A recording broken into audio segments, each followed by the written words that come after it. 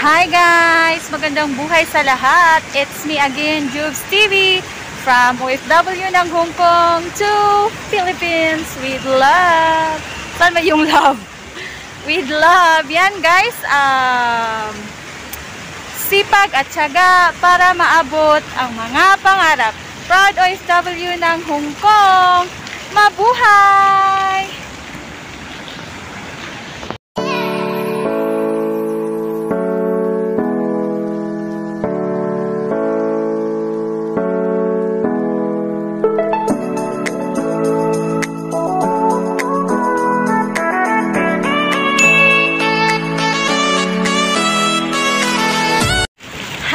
Guys! Magandang buhay sa lahat. It's me again, Jubes TV.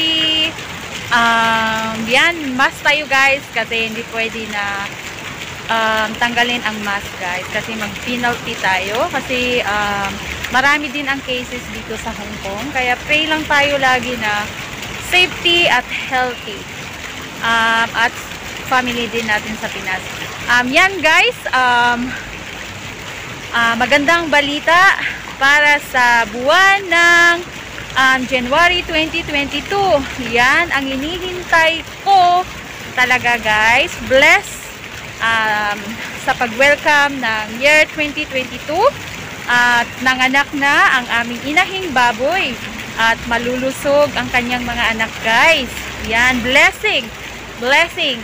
Thank you so much Lord sa blessings. Uh, yan, um,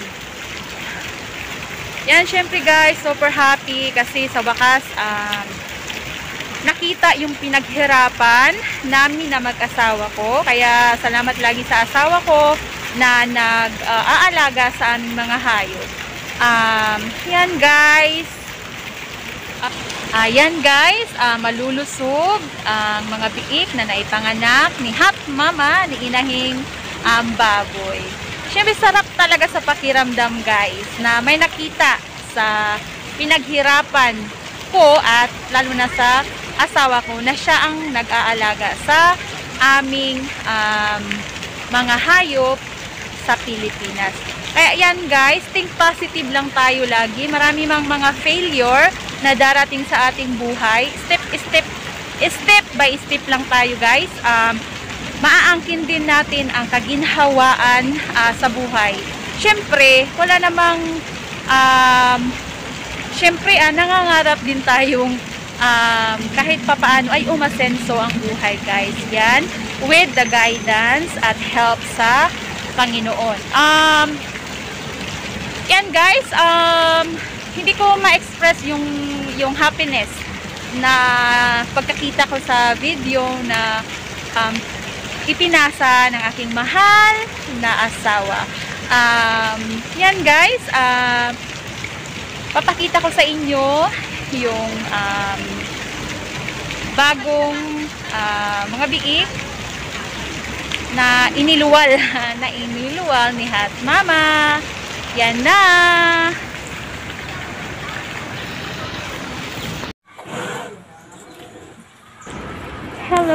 So cute kikis. Yan, ang lalaki nila guys. At ang lulusog pa. Yan, natutulog sila guys kasi pagod sila. Yun, tingnan mo yung lima oh. Yan, gutom sila kaya hindi sila nag-ano sa hindi sila inaanto kasi gutom sila. Yan sila muna guys, sila muna lima ang mag-ano, iinom ng gatas kasi natutulog pa ang lima para hindi sila magkaagawa ng lima. Kasi pagkatapos silang uminom ng lima, yun na naman yung lima.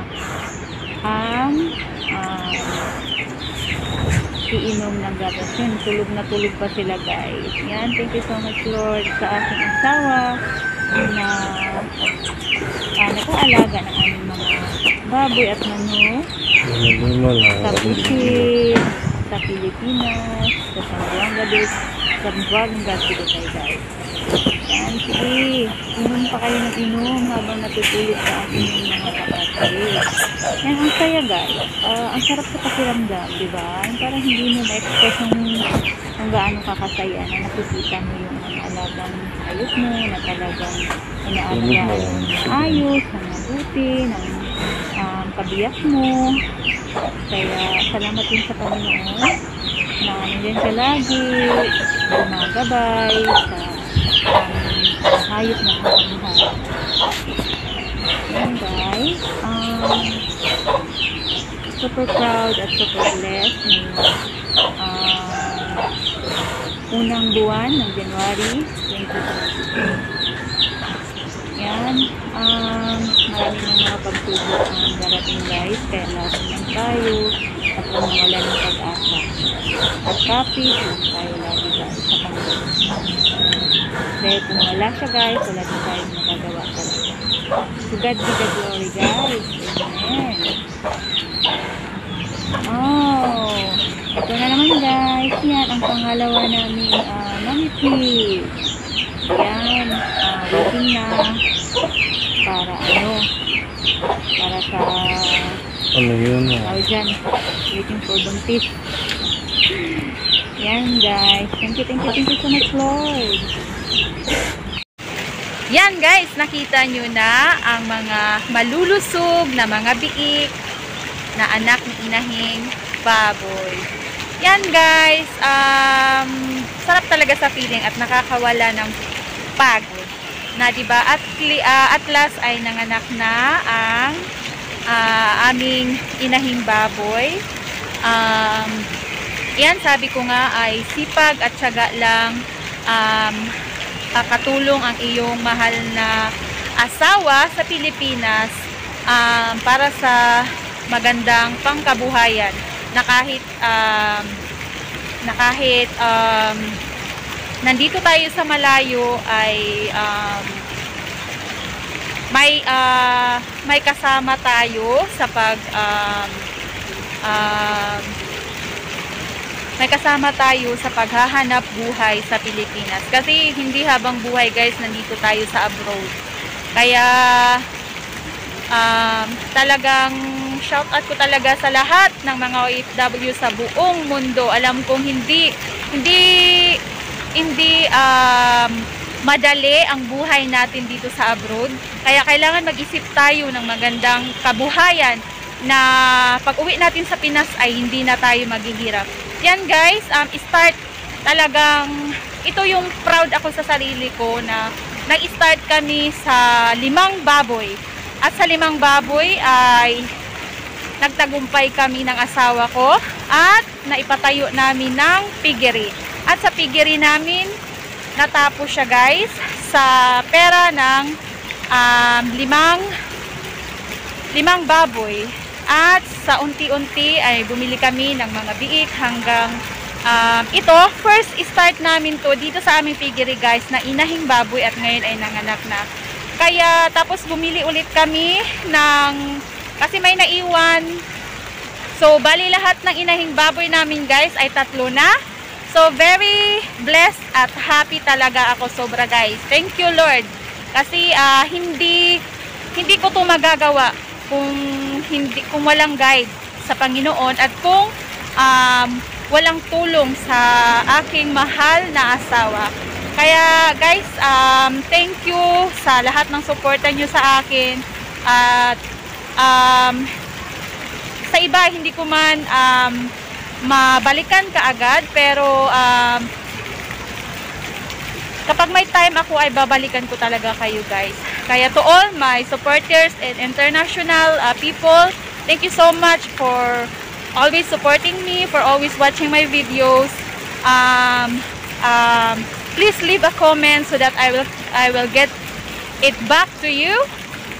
Um, hope you will not um, uh, what do you call that? you will not stop supporting me and I will not also stop supporting you as long as um, I have free time to uh, to support you. And God bless everyone and super happy ako. Proud OFW ng Hong Kong. Um, proud Filipino. Proud Filipino pa talaga yan dito ako guys sa park kasi hindi masyadong maingay yan this is me Jubes TV again. OFW ng Hong Kong. Mabuhay! God bless us all guys. Thank you for watching. Bye!